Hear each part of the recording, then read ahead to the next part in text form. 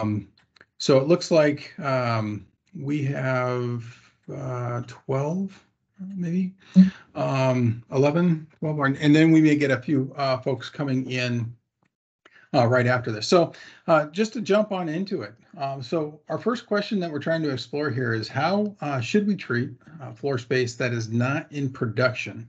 So um, let's uh, let's open that up and and we'll see how this works. If you just uh, take off your, um, uh, you can unmute yourself. If we need to use the raise hand features because we have a lot of folks trying to come in at the same time, we can shift to that.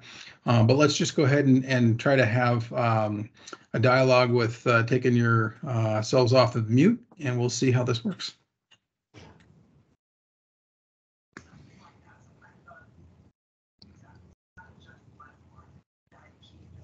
You ready to go, Justin? Yep, go ahead, jump on in. No, no, uh, David Otto here. Yeah, I don't, I don't know why we didn't include uh, floor space in any calculation for, for plant canopy. Um, So the short answer is exclude it. Uh, Floor space that is not being uh, dedicated to a grow, uh, that is plant in the ground or um, and uh, uh, hydroponic uh, infrastructure, however you're doing it, indoor, outdoor, vertical, horizontal. Uh, Floor space in my view, is, is not, uh, not to be included.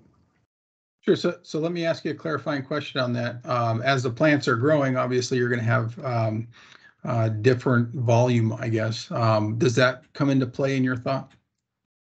Well, to the extent you would need more full floor space for a broader canopy, uh, oh yeah, sure. But then, then that's the, that's the planning stage.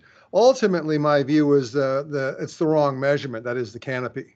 Uh, I, I don't, I, I think that's the, um, the error in this, this, uh, uh, regulation and, and the, um, the exercise around, um, monitoring uh, production. Uh, I think, I think that that's the, the incorrect measurement. Ultimately, you're talking about a number of plants. That's, that's how you get there from a managing the, uh, production output. Okay.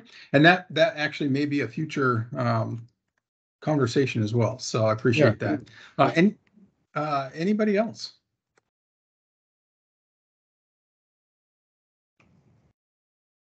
What I- do you want me to? I think somebody uh, was just trying to talk and then you went on mute.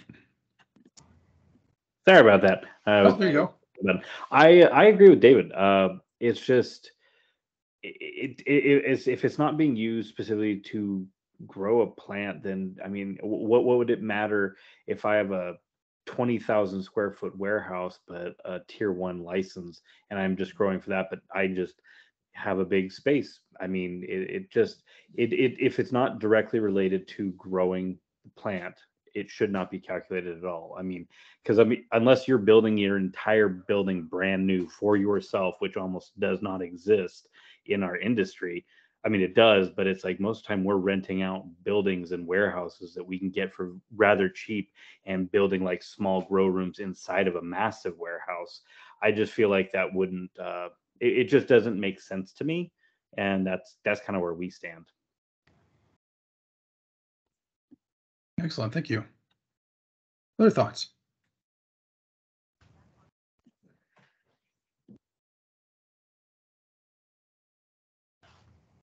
Hey, Justin, can you ask if anybody disagrees? Sure. Yeah. yeah, feel free. Uh, anybody, uh, you know, feel, and, and let me just reinforce this. Feel free to disagree. Uh, feel free to offer, alter, uh, uh, an alternative perception. Um, what we're trying to do is get as much type of feedback for consideration as we're, we're looking at this, uh, moving forward. So, um, any, any comments are appreciated.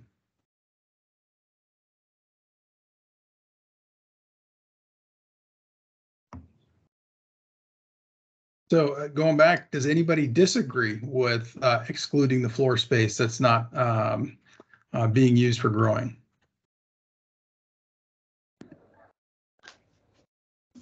Hey, good afternoon, Justin. This is Gregory Foster with Cannabis Observer. You hear me? Yep, yeah, go ahead. Thanks, Gregory.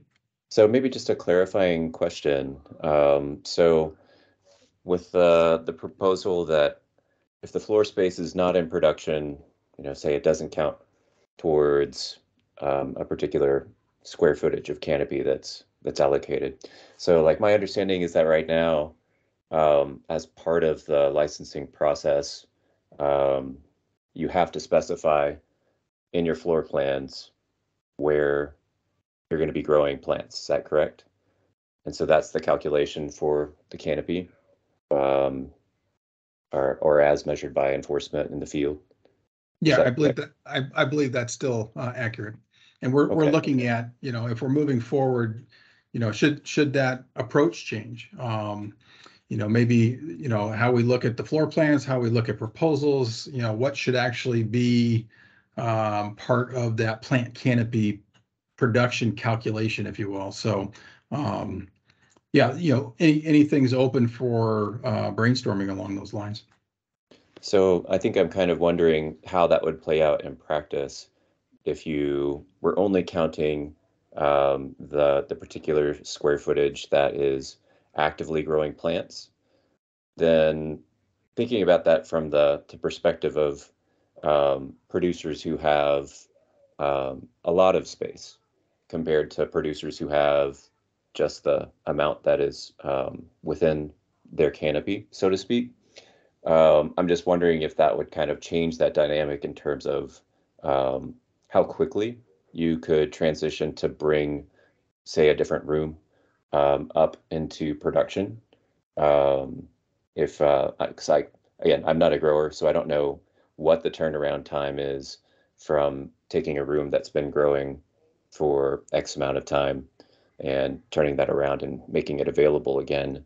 Um, so just sort of wondering about that dynamic uh, between uh, producers who have a lot of space to spare versus ones who are on a pretty tight budget.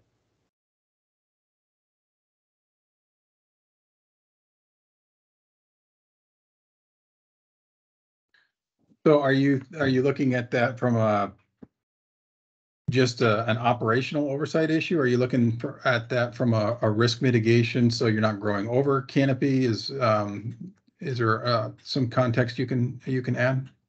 No, no, no. I, I just think, you know, uh, I know that the the agency staff and policy and rules staff are always very careful about um, kind of unintended consequences of particular approaches to rules, and so that's one that I would just raise as um, uh, uh, something to consider. And it'd be interesting to hear what other folks in the room who actually have experience with the the growing process around that. Tim, I see, uh, you have your hand up. Yeah, hi. This is uh, Tim Betts. I'm a tier three producer. I also have a processor license. And um, yeah, to that specific question, I think that was a great a great question um, that Gregory brought up. Uh, for example, we do a lot of farming outdoors in eastern Washington, and many of the the pens are quite large. And um, I think the original intention behind creating such large pens was to have the opportunity to reconfigure uh, the grows from year to year. So for example, you might want to do uh, the north half of your pen one year and then do a crop rotation and use the soil on the south side of your pen the next year. So um, in my own experiences with licensing, we've been able to actually just say, hey, we intend to grow somewhere in this pen. It's just an open field. There's no structures. These are outdoor grows. We intend to grow 30,000 square feet somewhere within this pen, uh, but we're not going to say on our site plan exactly which 30,000 square feet out of this giant pen we're going to use because it's going to change from year to year. Some years we may want to put 10 feet between our rows. Some years we may want to configure the rows very tight. And that's something that both licensing and enforcement has um, allowed us to do. But I know that everybody's experiences have been different throughout the state, which I think is, is a larger issue.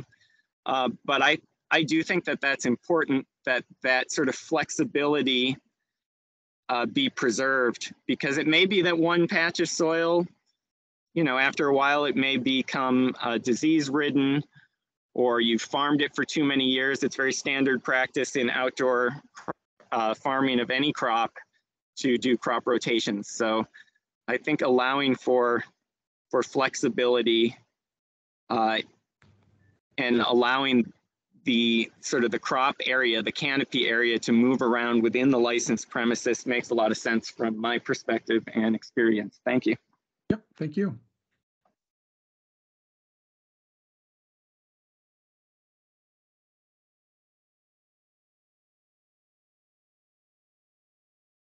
Other Yeah, I'll second that. I'll second that, Justin. Okay. Uh, Yeah, there's no question that crop rotation and flexibility with respect to um, where plants are located, how many, um, all needs to be um, sort of properly understood, independent of um, the uh, floor space uh, issue or non-producing floor space. I, as far as I'm concerned, you can have as much non-producing floor space as you like. Um, It's really about the, the product, it's the production. That's, that's, uh, that, that's the issue.